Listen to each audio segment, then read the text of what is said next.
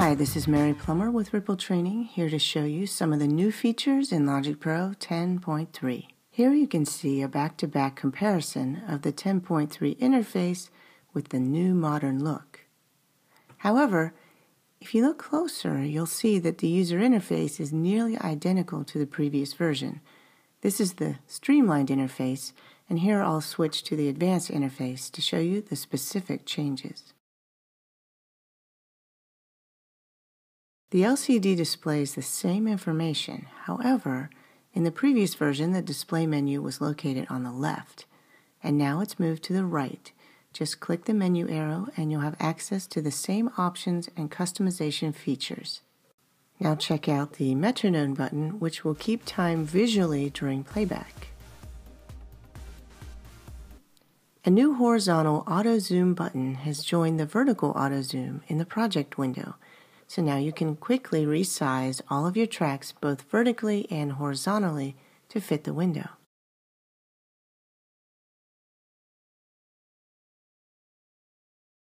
In the track display preferences, you'll find dark, bright, and custom settings for your workspace background, as well as contrast controls for the grid lines.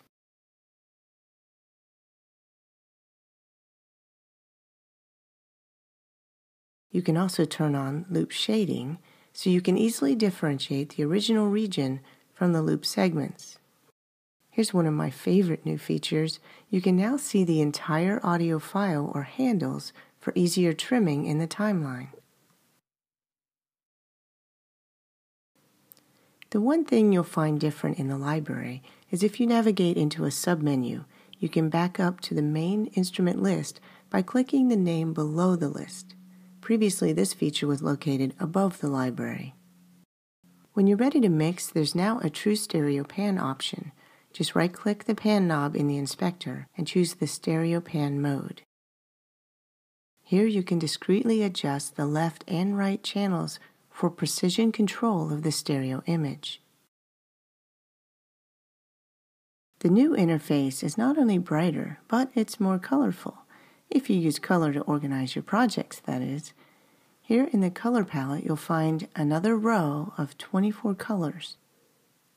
For the next new feature, I'm going to change my secondary tool menu to the Fade tool, so I can show you how to create fades on multiple regions simultaneously.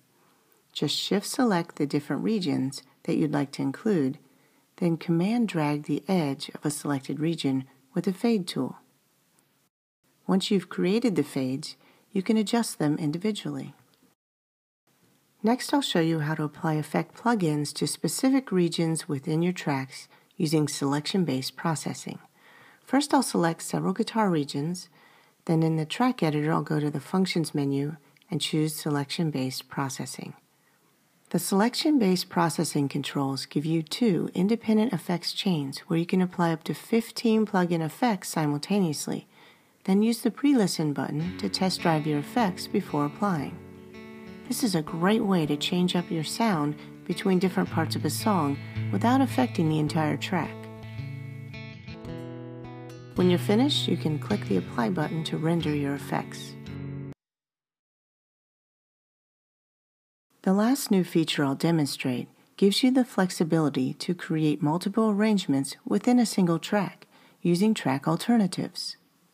In the track menu, choose Show Track Alternatives. On the track header, click the Track Alternative menu. Here you can choose to create a new track or duplicate the existing track.